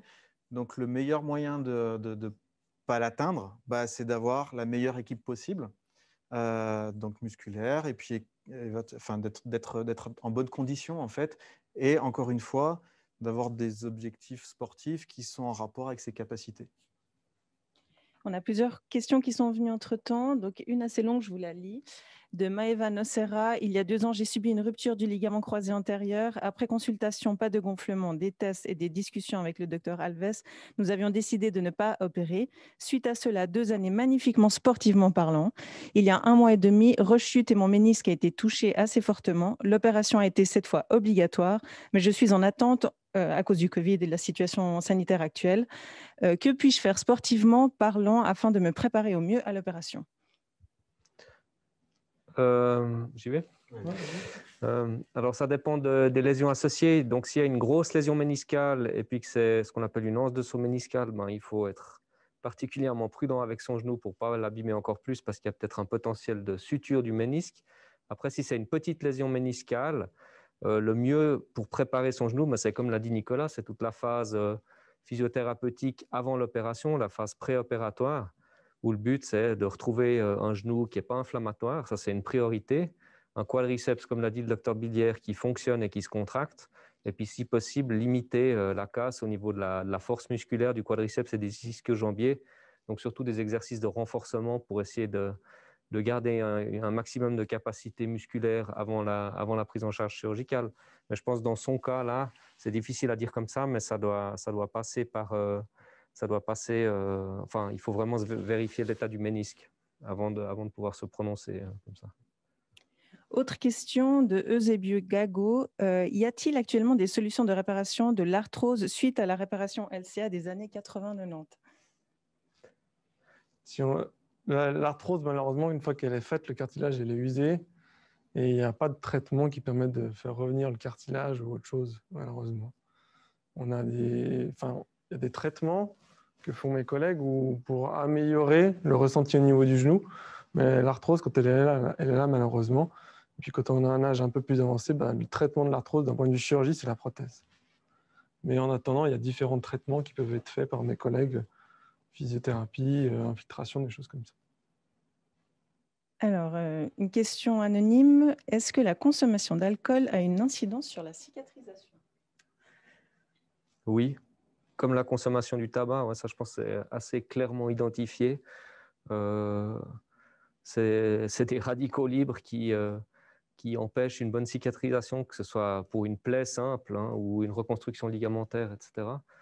Après, la consommation excessive d'alcool, euh, si vous avez un genou qui tient déjà pas très bien, vous venez d'être opéré, puis qu'en plus vous êtes un peu en état d'ébriété, je pense que ça va pas aller du tout. Donc, je la déconseille fortement. Le message a sûrement été entendu. Autre question anonyme, des séances en piscine sont-elles nécessaires après la chirurgie?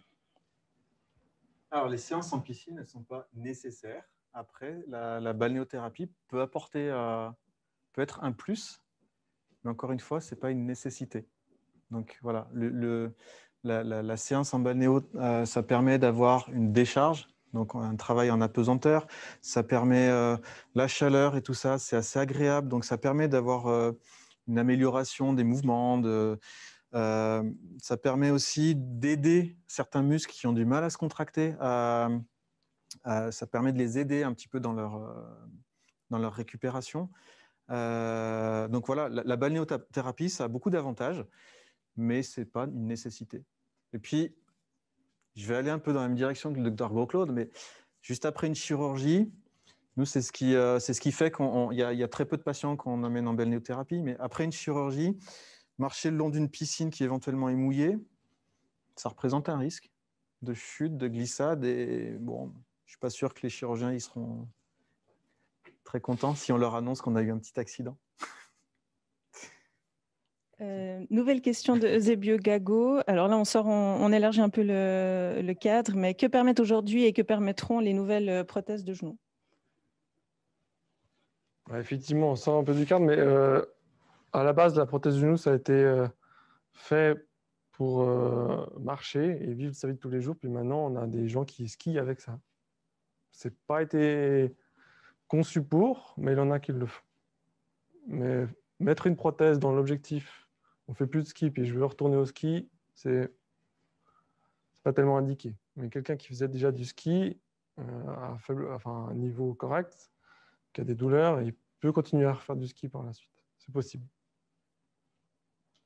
Euh, j'avais aussi une autre question par rapport à. Je sais que chaque cas est très spécifique, mais si on veut essayer de faire un peu une proportion, quels sont les cas qu'on arrive à, où on arrive à éviter l'opération? Est-ce qu'on est dans du 50-50 ou est-ce que c'est plus du 20-80 ben, L'étude euh, norvégienne de Frobel là, montrait qu'on arrivait à éviter 50% des chirurgies. Alors, euh, il faut bien se rendre compte, et c'est un point qui est, très important, c'est que on parle de lésions du croisé isolées. Donc, c'est vraiment juste une rupture du ligament croisé. Et dans la majorité des cas des entorses graves du genou, il n'y a pas juste un croisé isolé.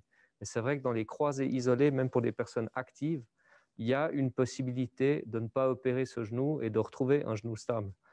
Maintenant, euh, ça c'est une question qui est hyper importante. ce qu'il faut, c'est au moment, même si vous êtes jeune, il y a plusieurs questions qui rentrent en ligne de compte pour la décision de l'intervention chirurgicale ou pas. Ce n'est pas juste l'âge, ce n'est pas juste l'activité sportive, c'est la demande qu'on va avoir globalement pour le reste de sa vie sur ce genou. Ça, c'est pour monsieur et madame tout le monde. Puis pour certains sportifs, euh, c'est aussi le calendrier. Pour les sportifs d'élite, par exemple pour des skieurs, ben, vous avez entendu le cas d'Yanka, il y a eu le cas de Johanna Helen dans le ski, euh, où finalement ils se sont euh, blessés au genou avec une rupture du croisé à un moment de la saison où ils pouvaient finalement pas s'arrêter, puis ils ont choisi de continuer leur, saison avec une rupture du croisé en le traitant non chirurgicalement. Et puis avec certains, on s'est rendu compte que finalement ce genou était suffisamment stable pour poursuivre l'activité et pouvait éviter une chirurgie. Ce qu'il faut aussi bien comprendre, c'est que si on décide d'éviter une chirurgie et puis que ça se passe mal, comme l'exemple de la dame d'avant, parce qu'elle a malheureusement subi un nouvel accident, elle s'est retordue le genou, il y a toujours la possibilité de réopérer dans un deuxième temps. Ce qu'on aimerait évidemment éviter, c'est que quand on décide d'un traitement conservateur, non chirurgical, c'est qu'il y ait des phénomènes d'instabilité qui peuvent ensuite mener à des lésions euh, méniscales ou des lésions cartilagineuses, euh, où là, après, euh, ça peut poser problème pour le reste de la vie. Donc, euh, c'est des décisions qui ne sont pas toutes simples, mais ce qu'il faut aussi savoir, c'est que si on prend une décision d'un traitement qui est non, non chirurgical, un traitement fonctionnel, on a toujours la possibilité, dans un deuxième temps, finalement, de dire, OK, ben, finalement, je préfère une chirurgie. On a le temps. Ça, c'est aussi un message, c'est que dès le moment où on s'est fait une rupture de croisée, sauf pour certaines lésions associées, mais dès le moment où on s'est fait une rupture de croisée, on a le temps de réfléchir et l'intervention chirurgicale en urgence après un croisé, c'est toujours déconseillé. Sauf pour des cas bien précis de, grosses lésions méniscales ou de, lésions du ligament latéral externe, là où il faut, on a une dizaine, 10-15 jours pour les opérer. Euh, dans, la majorité des cas, euh, on attend plusieurs semaines avant l'intervention pour mettre le genou euh, au calme. Merci beaucoup. Euh, question suivante de Sandrine Boult, qui est collègue physiothérapeute, euh, qui vous remercie déjà pour cette superbe conférence et euh, qui demande si on pourrait préciser l'importance du travail proprioceptif dans le cadre d'une réhabilitation du genou pour faciliter la contractibilité et les réflexes musculaires. ça fait partie de l'équipe que, que, je vous ai montré. En fait, travail proprioceptif, en fait, globalement, c'est tous ces exercices d'équilibre. Et euh, entre autres, hein, euh, c'est un petit peu plus complexe comme sujet, mais l'idée, c'est vraiment de, c'est pas seulement de faire de la musculation, d'avoir un quadriceps qui est fort, d'avoir des ischios qui sont forts, c'est de réussir à les faire euh, jouer tous ensemble. Et souvent, ça un intérêt, cet effort, ce, travail-là, notamment pour un quadriceps qui a un petit peu de mal à, se contracter, on va le mettre un petit peu en situation et on, obtient des, résultats qui sont assez, euh, assez intéressants à ce niveau-là. Je suis pas sûr, la, question était un peu complexe, donc je ne suis, pas sûr d'avoir répondu à tout, mais euh, je pense que j'ai... Euh, oui, oui, je crois que j'ai abordé ça. Hein. Oui, oui, oui. une autre question, anonyme cette fois encore Pardon, excusez-moi. Euh, par rapport à l'arthrose, j'ai entendu parler d'essais euh, de greffe qui reconstruit le cartilage. Est-ce que vous confirmez? Euh, y a, Niveau réparation du cartilage, il y a plein de choses qui sont en essai. pour l'instant, il n'y a rien d'extraordinaire qui, fonctionne. Ça améliore, sur, des fois à court terme, mais à long terme, ça ne change pas grand-chose. il y a beaucoup de nouvelles technologies, mais pour l'instant, il n'y a rien d'extraordinaire. Autre question de Brian Bergougnou. Euh, la prise en charge pour une rupture du LCA est-elle la même pour un enfant de moins de 10 ans? Alors, non, elle est totalement différente parce que il n'a pas fini de grandir. Donc, il a des zones de croissance au niveau du, du, genou euh, où, bah, quand j'ai montré dans, dans, dans, mes diapositives, c'est qu'on doit faire un tunnel au niveau du, du, tibia et du fémur. Et euh, ces tunnels, ils vont léser la zone de croissance. Donc, chez un jeune qui n'a pas fini de grandir, on ne peut pas se permettre de faire ce, de, ce genre de chirurgie. Et là, il y a plusieurs options. Euh, il y a d'autres types techniques chirurgicales qui peuvent permettre de reconstruire le croisé antérieur. S'il n'y a pas de lésion méniscale, on se permet d'attendre. Euh, malheureusement, bah, l'enfant doit arrêter de faire du foot, du ski, etc. pour pas qu'il se abîme les ménisques. Et on attend la fin de sa croissance. Et euh, on doit évaluer, on a des courbes pour évaluer la, croissance résiduelle encore en fonction de la taille des parents, etc. Pour savoir quand est-ce que c'est le bon ou pas. Et puis des fois, malheureusement, il y a des lésions au niveau des ménisques. Et donc, on ne peut pas se permettre d'attendre 2-3 ans. c'est là qu'on fait des techniques euh, qui sont spécifiques à l'enfant ou l'adolescent. Alors, euh, deux questions de Claude Rappeneau. La première, les cicatrisations du LCA rompu sont rares, mais quel est le pourcentage de cicatrisation euh, ça dépend de ce qu'on entend par cicatrisation. Est-ce que c'est une cicatrisation sur l'IRM ou est-ce que c'est un genou qui est stable? Euh, donc, je ne peux pas donner des chiffres comme ça. Euh, bah, tout est une question de définition de la cicatrisation. Un, genou avec un ligament croisé antérieur rompu qui reste stable, ça va être un LCA qui n'a jamais cicatrisé, mais finalement un genou qui fonctionne bien. Et puis, il peut y avoir des fois des cicatrisations partielles, on le voit à l'IRM, mais avec des genoux qui restent instables, où les patients se le déboîtent. Et dans ce cas-là, on a une cicatrisation qui est qui est sur l'IRM pas trop mal, puis finalement fonctionnellement pas bonne du tout et qui nécessiterait une chirurgie. Alors là, il nous dit c'est une cicatrisation sur genou stable. Alors si c'est une cicatrisation sur genou stable, le chiffre, ça, je peux pas dire. Je, une je dirais 20% comme ça, mhm. un peu à la louche. Il y a un moyen aussi à l'examen clinique, il y a un appareil pour mesurer en millimètres, justement, on regarde la différence entre les deux genoux. Si la laxité est faible, il y a peu de millimètres, juste 2-3 mm de différence considérer que ben, le genou, il, enfin, il pas non seulement il est stable, mais il n'a pas de laxité, il n'y a pas de jeu, un jeu qui est très faible. À ce moment-là, il, peut, il y a des bonnes chances qu'il n'ait pas besoin d'être opéré. Alors que si on a un jeu qui est très élevé, 10 mm par exemple de différence, euh, ça ne va pas aller avec un traitement fonctionnel. D'accord. Et sa seconde question, c'était y a-t-il obligatoirement un épanchement si on a une rupture du ligament croisé antérieur? Non. C'est plus rare, mais ça peut arriver euh, qu'il n'y ait pas d'épanchement du tout. Et souvent, les gens viennent euh, plus tard, n'ont pas forcément consulté tout de suite parce que il y a des ruptures qui sont très bruyantes où vous avez vraiment mal avec un gros genou, puis il y a des ruptures qui sont quasi silencieuses sur un faux mouvement. Vous, vous, vous sentez qu'il y a quelque chose qui s'est passé dans le genou. Vous pouvez même des fois continuer votre activité sportive. Et puis finalement, euh, à la longue, vous allez vous rendre compte que ce genou est, dysfonctionne, ne tient pas très bien. Et le diagnostic est souvent tardif quand il n'y a, pas a pas forcément d'épanchement immédiat. Une euh, question de Stéphane Ducrest. J'ai été opéré des croisés aux deux genoux il y a 30 ans. Je fais, je pense qu'il voulait dire, je fais du sport VTT ski montagne. Un d'eux a tendance à gonfler régulièrement. Comment faire pour stopper cette inflammation récurrente? Alors, euh, si c'était une, opération des ligaments croisés il y a 30 ans, il y a de fortes chances que ce genou commence à s'user et que le patient développe peut-être un début d'arthrose. Euh, là, idéalement, il faudrait comprendre pourquoi ça gonfle. C'est pas normal d'avoir un épanchement qui vient comme ça régulièrement et ça doit s'investiguer. En général, ça s'investigue au début euh, par une consultation chez un médecin qui va constater si vraiment il y a un épanchement ou pas et puis par la suite faire un bilan radiologique déjà en charge comme je vous ai montré, des radios simples au début, ça permet déjà de se faire une bonne idée de l'état des genoux. Et puis, si ces radios sont strictement normales, on peut parfois demander encore une IRM pour essayer de comprendre pourquoi, ça, pourquoi le genou gonfle. Mais ouais, ça, ça mériterait investigation, je pense. J'espère qu'il a entendu. Hein Euh, Nina Eurin qui voulait savoir si on pouvait procéder par rapport au test dont vous, avez parlé plus tôt euh, avec la, batterie. Est-ce que des personnes qui ont déjà été opérées et qui aimeraient faire ce test, c'est possible ou il faut avoir euh, d'abord eu une prise en charge ici? On n'est pas exclusivement pour nos patients ici. Hein. On, propose la batterie à qui en a besoin essentiellement. Donc non, ce n'est pas, pas réservé à des patients qui ont été opérés. C'est même euh, ce que, ce que, ce que j'étais en train de présenter avec le docteur Gauclaude. C'est au final même des gens qui ont des genoux euh, qui, euh, qui évoluent de façon un petit peu...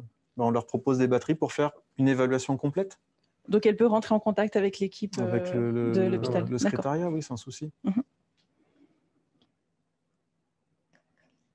Alors, dans le cas, euh, personne anonyme, dans le cas d'un accident de ski avec les deux ligaments croisés antérieurs rompus et sans chirurgie réparatrice effectuée, mis à part la musculation, est-ce qu'une perte de poids est également recommandée pour moins solliciter les genoux et un facteur de succès, surtout pour reprendre le ski avec le moins de risque de dégâts lors d'une rechute? Je pense que ça dépend du, poids initial. Si vous avez déjà un poids de forme fit, il n'y a pas forcément besoin de perdre encore plus de poids. Ça dépend un peu de son BMI. Mais c'est sûr que si vous êtes en excès pondéral, euh, c'est un facteur de risque supplémentaire. Et euh, là, ça vaut la peine de mettre un accent sur la rééducation là-dessus. C'est identifié comme un facteur d'échec du traitement fonctionnel, le BMI euh, élevé. Voilà, c'est une piste à, envisager. Et puis je dirais aussi à long terme, on sait que ces genoux qui ont été blessés s'usent plus vite et on sait que les gens qui sont en surpoids usent aussi un peu plus vite leurs articulations. Donc chez elles, ça ferait deux facteurs supplémentaires qui, mèneraient à une arthrose précoce de son genou. Donc je pense que ça vaut la peine de faire attention et de, de, faire des démarches pour essayer de perdre du poids. Mhm. Par rapport à la personne qui était en attente d'opération euh, à cause de la crise sanitaire, elle demande euh, si en attendant l'opération, est-ce que je suis censée renforcer quand même ou plutôt rester calme? Euh, je pense que je ne peux pas répondre n'ayant pas vu la patiente et connaissant pas son genou. Euh, on ne sait pas si le genou est inflammatoire, gonflé, si euh, on a parlé de la lésion méniscale, si c'était une grosse lésion. Si elle a toutes ces questions, je pense que ça vaut la peine qu'elle consulte soit son médecin, soit, soit un de, un de nous. Et on va terminer avec cette question de Camille Bellarbi. Euh, quels sont les objectifs, vous l'avez déjà dit, mais peut-être pour résumer, quels sont les objectifs de la prise en charge préopératoire? Donc Camille, on va en parler demain. Euh, c'est mon stagiaire en fait. Euh, l'objectif principal, c'est ce qu'on vous a expliqué en fait, c'est d'avoir une fonction du genou correcte. Donc la première chose, c'est un contrôle de la réponse inflammatoire, on sait que la, chirurgie va amener un, genou qui va gonfler. Donc, s'il arrive déjà gonflé au bloc, ça va compliquer les suites. Donc ça, c'est le contrôle de la réponse inflammatoire. Un genou qui plie suffisamment, donc idéalement minimum 110 degrés, ça dépend du, timing par rapport à l'accident. Et puis surtout un genou qui tend. Camille, ça je t'ai déjà bien, bien, bien expliqué. Et puis, euh, bah, idéalement, comme, euh, comme je l'ai montré, 20% de déficit de, de, force, ça a été identifié comme euh, facteur un petit peu de, de rééducation un petit peu plus longue, un petit peu plus compliquée après l'opération. Donc, meilleure sera la force. Ça répond un petit peu, pas de façon précise à la, la question d'avant, mais c'est vrai que développer la force avant l'opération, c'est vraiment important. Et euh, moi, les patients que j'ai en pré-op, euh, on pousse, on pousse. On développe aussi le, contrôle neuromusculaire, l'éducation dont je vous ai parlé. Euh, tout ce qui va être fait avant va faire gagner au moins du confort. Pas forcément du temps, mais au moins du confort par, la suite. par contre, juste avant l'opération, encore une fois, la réponse inflammatoire, c'est important. Donc, on ne va pas aller forcer sur un genou la veille de l'opération. Ça serait, ça serait se tirer une balle dans le pied. Parfait, merci beaucoup. Est-ce que l'un de vous souhaite ajouter encore euh, quelque chose? On a fini avec les questions. Merci beaucoup. Merci. merci. merci.